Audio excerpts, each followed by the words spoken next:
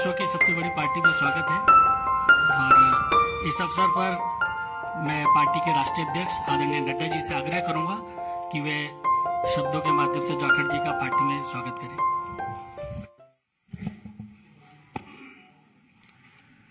जैसा अभी अनिल बलूनी जी ने आपके सामने इस विषय को रखा है कि सुनील जाखड़ जी भारतीय जनता पार्टी की सदस्यता लेकर भारतीय जनता पार्टी में शामिल हुए हैं मैं अपनी ओर से और पार्टी के करोड़ों कार्यकर्ताओं की ओर से उनका भारतीय जनता पार्टी में स्वागत करता हूँ, अभिनंदन करता हूँ।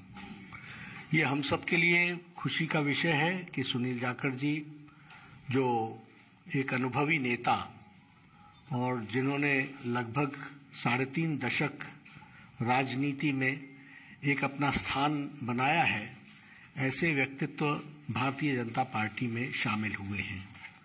आप ने कई जिम्मेवारियाँ निभाई हैं। प्रदेश के कांग्रेस के एक समय अध्यक्ष भी रहे, एलओपी भी रहे, लोकसभा में भी रहे, विधानसभा में लंबे अरसे तक रहे और एक अपनी खास छवि पार्टी से अलग हट करके आपने स्थापित की और किसानों के नेता, युवाओं के दिलों में जगह एक ईमानदार छवि के साथ आपने कई जिम्मेवारियों पर काम किया है। आज मैंने आप सबसे पहले भी कहा था कि पंजाब में राष्ट्रवादी ताकतों का जो प्रथम स्थान है, वो भारतीय जनता पार्टी ले रही है। और इसलिए आवश्यक होता है कि राष्ट्रवादी विचार रखने वाले सभी लोग भारतीय जनता पार्टी के साथ जुड़े और मजबूती प्रदान करें। Punjab is a border state, more than 550 hundred and fifty kilometres border is along with Pakistan. There are issues related to drugs there are issues related to terrorism there are issues where it is it it the the endeavor from the Pakistan side is to make it a gateway for all activities which is going on, which uh, may be uh, not, uh, which may be detrimental to India. तो ऐसे में राष्ट्रवादी ताकतों का मज़बूत होना पंजाब में आज की आवश्यकता है और आज पंजाब में भारतीय जनता पार्टी ऑपोजिशन की आवाज़ बन करके आ रही है और इसीलिए मैंने उस समय भी कहा था कि बहुत लोग कांग्रेस से और अकाली दल से भी, जो भी राष्ट्रवादी ताकतों के साथ जुड़ना चाहते हैं, वो भारतीय जनता पार्टी के साथ आना चाहते हैं। इस कड़ी में मैंने पहले कहा कि एक अपनी छवि रखने वाले ऐसे सुनील जाखड़ जी ने आज भारतीय जनता पार्टी की सदस्यता ली है। और मुझे पूरा विश्वास है कि वह हम सबके साथ मिलकर के हम पंजाब को एक नए मुकाम पर ले जाएँगे और राष्ट्रवादी ताकतों को मज़बूत करने में उनका अनुभव का हम सदुपयोग करेंगे और पार्टी मज़बूत होगी पंजाब को मज़बूत करने के लिए पंजाब को मजबूती प्रदान करने के लिए। और उसमें सुनील जाखड़ जी का विशेष योगदान रहने वाला है। मैं पुनः आपका अभिनंदन करता हूँ, स्वागत करता हूँ और मैं निवेदन भी करूँगा सुनील जी से कि आप ज़रूर कुछ अपने उद्गार कहें और बहुत बहुत धन्यवाद आदरणीय बीजेपी के अध्यक्ष नड्डा साहब, जो आपने मुझ जैसे व्यक्ति को माननीय प्रधानमंत्री नरेंद्र मोदी जी, माननीय देश के गृह मंत्री अमित शाह जी, उनके साथ, उनकी सहमति से मुझ जैसे व्यक्ति को आज अपनी पार्टी में शामिल होने का ये मौका दिया। मैं आभारी हूँ मंच पे जो मौजूद हमारे प्रभारी अनिल बालूनी जी हैं। मैं आभारी हूँ खास तौर पे प्रवेश वर्मा जी का जो खास तौर पे इस मौके पे यहाँ पहुँचे हैं। मैं आभारी हूँ अरविंद खन्ना जी का, मैं आभारी हूँ मनजिंदर सिंह सरसा जी का, मैं आभारी हूँ परमिंदर जी का। कि आप सबके सहयोग से आज इस बीजेपी के मंच पे नड्डा साहब की हाजिरी में बीजेपी में शामिल होने का मौका आपने दिया। धन्यवाद नड्डा साहब। आप सभी ये कोई अच्छा सॉरी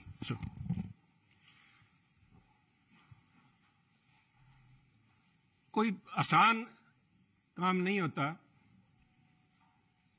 पचास साल का संबंध मेरा कांग्रेस से है।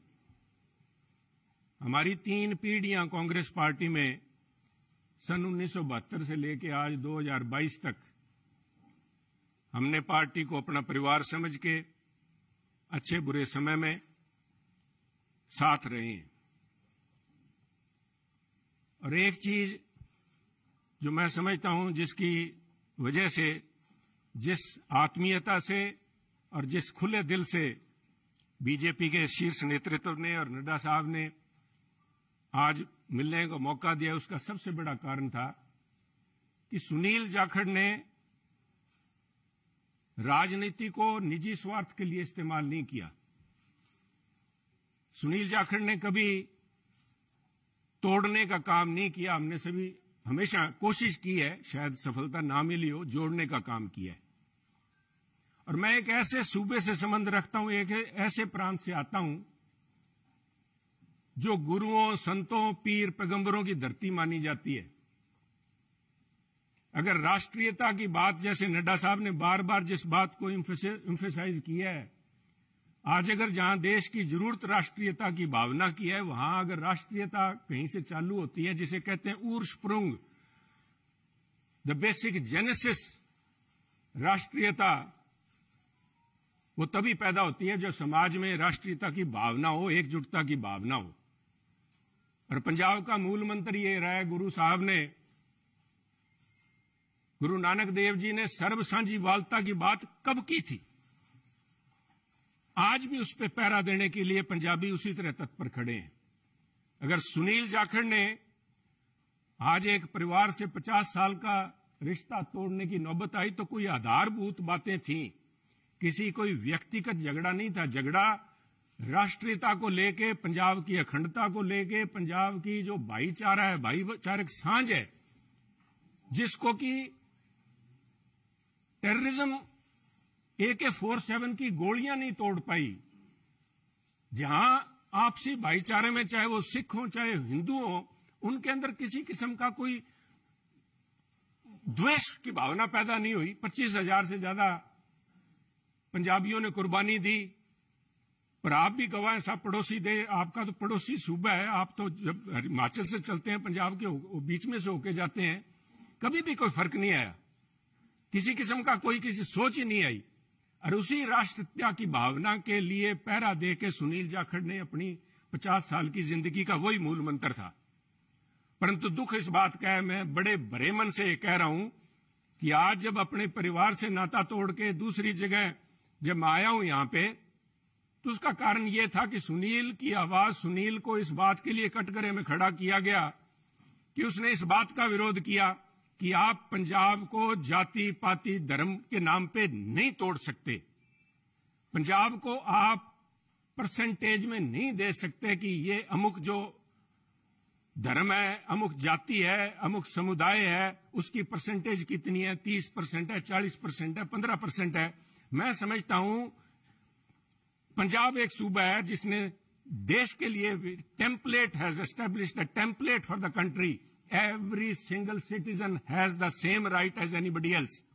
सबको बराबरी का there is no second class citizen in Punjab और इस भावना को लेके पंजाब अग्रणी सूबा रहा है, चाहे वो हमने देश की सीमाओं पे लड़ाई लड़ी है, चाहे देश के विकास में, हर सूबे प्रांत में पंजाब ने अपना नाम कमाया है। कुछ लोग बात करेंगे, क्योंकि हुआ क्या? कोई एक व्यक्ति की बात नहीं है कि एक व्यक्ति ने बोल दिया और संबंध टूट गया। वो कहना कच्ची यारी है नहीं सब इस तरह नहीं टूटा करती। ये कोई शीशा नहीं है जो पचास साल का संबंध है। कहते हैं, कोई शीशा नहीं है कि पहले हम इंसान हैं, हमने रिश्तों को निभाया है असूलों की तरह। पर जब असूल ही टूट जाए, जब हम अपने सिद्धांत से हट जाएँ, अपनी आइडियोलॉजी से हट जाएँ तो मैं समझता हूँ this is a right time to have a rethink उसको सारा सोचना पड़ता है कि हम जा किस तरफ़ रहे हैं। आज किस तरफ़ बढ़े जा रहे हैं तो उसको लेके मैं समझता हूँ कि निर्णय लिया गया और क्यों निर्णय लिया गया? बीजेपी के पास मैं, क्यों बीजेपी के, आपके यहाँ आज मंच पे बैठा हूँ। सब तरह तरह की अटकलें लगाई जा रही थी सुनील को लेके, कयास लगाए जा रहे थे, क्यों बड़ा स्वाभाविक था जिस दिन से नड्डा साहब आपने देखा कि मैंने गुड बाय बोला मेरी तरफ़ से तो गुड बाय ग्यारह तारीख को जिस दिन मैंने देख लिया कि आवाज़ के ऊपर पाबंदी लगाने के लिए नोटिस जारी किए जा रहे हैं तो आवाज़ नहीं रोकी जा सकती। सुनील को आप पद से हटा सकते हो, किसी से दूर कर सकते हो। सुनील की आवाज़ गिरवी नहीं रखी जा सकती। आवाज़ राष्ट्रीयता के लिए उठेगी। परंतु क्या कारण बने? न साहब, मैं आज कुछ बातें आपसे शेयर आपके पास, अगर मुझे पता आपको जयपुर भी जाना है फिर दो मिनट में लूँगा आपके कीमती समय के। पार्लियामेंट के अलावा मुझे डेढ़ साल पार्लियामेंट में काम करने का मौका मिला, सरसा जी। पर उसके बाद पार्लियामेंट से बाहर मेरी मुलाकात हुई माननीय प्रधानमंत्री से। जब वो पंजाब आए, करतारपुर कॉरिडोर एक बहुत लंबे समय की मांग बलूनी जी, जो सारे सिख समुदाय की नहीं, पूरे पंजाबियों की, जो भी व्यक्ति पंजाब से प्रवेश जी जुड़ा हुआ सबका था कि हमें करतारपुर साहब जाके हमें अपनी बात, श्रद्धा नमन करने का, उसकी संभाल का, उस हमारे गुरु घर का हमें को मौका मिले। उस समय यह सौभाग्य था कि मुझे वहाँ पे प्रधानमंत्री जी के पास बैठ के गुरु का लंगर छकने का मौका मिला। उनसे बात करने का मौका मिला। उनकी भावनाएँ समझी। वो तो एक मुलाकात थी। एक मुलाकात से पचास साल के संबंध नहीं टूटते। परंतु मेरा हमेशा ये भावना रही है कि पंजाब कुर्बानियाँ बहुत दी हैं। टेररिज्म के अंदर कुर्बानियाँ दी है देश की रक्षा के लिए। जब भी मौका पड़ा है चाहे जब से धाड़वी पंजाब आने लगे हैं चाहे उसके बाद पाकिस्तान हो चाहे चाइना हो हर पंजाबियों ने कुर्बानियाँ दी हैं। और उस कुर्बानियों को चलते मेरे एक मानना था हमेशा ही कि भी मौका लगा तो प्रयास करेंगे कि पंजाब को एक स्पेश, स्पेशल स्टेट का स्टेटस दिया जाए। नड्डा साहब कागजों में तो अभी फॉर्मली नहीं दिया गया कॉन्स्टिट्यूशनली तो नहीं दिया गया। बहुत सी मजबूरियाँ सरकारों की वक्त की मजबूरियाँ होती हैं। परंतु मेरा मानना है कि व्यवहारिक तौर पे माननीय प्रधानमंत्री ने पंजाब को स्पेशल स्टेटस दे दिया। और उसका जीता जागता सबूत है, जब माननीय प्रधानमंत्री ने लाल किले पे हिंद की चादर गुरु तेग बहादुर जी का चार सौवा प्रकाश दिवस मनाया तो मैं समझता हूँ कि उनके जो सबसे ज़्यादा कट्टर विरोधी थे उन्होंने भी अपने दिल में स्वीकार किया कि वो पंजाब की नबज समझ गए। पंजाब की जो भावना है कि पंजाबी मिलजुल के मानस की जात सब एक को कहा कश्मीर के पंडितों को लेके चाहे आज तक संघर्ष चल रहा है, कब गुरु साहब ने यहाँ पे इन मुगलों के पास आके अपनी कुर्बानी दी थी। और मैं समझता हूँ उस भावना को नमन है। उस भावना को जितना भी कहें, चाहे बहुत से माननीय प्रधानमंत्री ने अपने कार्यकाल के दौरान बहुत से ऐसे काम किए हैं, पर एक पंजाबी के तौर पे मैं शायद किसी को अच्छा ना लगे, मैं समझता हूँ, ये जो उनका एक कदम था, ये एक इज़ अ लैंडमार्क इसने अपने आप लोगों की भावनाएँ, लोगों की आज भावनाएँ उनके साथ जुड़ी और मैं समझता हूँ कि आज मेरा यह सौभाग्य है कि पंजाबी होने के नाते और गुरु साहब की उस धरती से आते हुए, जैसे गुरु नानक देव जी के बारे में अलामा इकबाल ने कहा था कि फिर उठी सदा आखिरी एक तोहीद की पंजाब से, मर्द कामिल ने जगाया हिंद को एक फिर खाब से। आज मैं समझता हूँ फिर वही भावना पंजाब से लेके यहाँ पे उस भावना, उस अलग की, उस ज्योति की एक, उसको लेके मैं आज बीजेपी में आया हूँ और मैं समझता हूँ कि आप लोगों के सहयोग आपके मार्गदर्शन माननीय प्रधानमंत्री अमित शाह जी के मार्गदर्शन में अगर मैं रत्ती भर भी देश में और पंजाब के लिए उस अखंडता को कायम रखने में कामयाब होता हूँ तो मेरा जीवन सार्थक मैं मानूँगा। आपका बहुत बहुत धन्यवाद। जय हिंद। जैन सर। इस कार्यक्रम में शामिल होने के लिए आदरणीय राष्ट्राध्यक्ष जी का बहुत बहुत धन्यवाद। और मीडिया के सभी साथी बहुत कम समय में आप सब लोग आए। आप सबका बहुत बहुत धन्यवाद थैंक यू Thank you.